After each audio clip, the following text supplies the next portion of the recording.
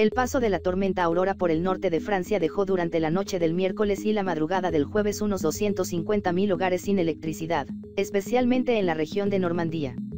En un comunicado, la empresa Enedis indicó que unas 250.000 viviendas se quedaron sin electricidad y explicó que movilizaron a unos 3.000 técnicos para solucionar los problemas provocados por los fuertes vientos en Francia.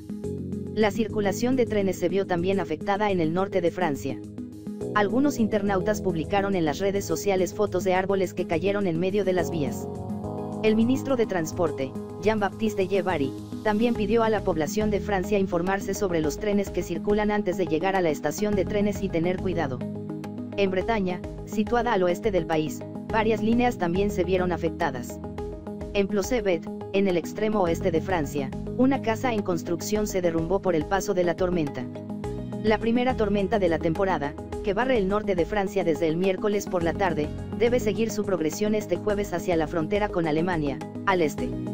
Según el Instituto Meteorológico de Francia, se registraron rachas de viento de 175 km por hora en Fécamp y 143 km por hora en Granville, ambas en Normandía, y 109 km por hora en el sur de París.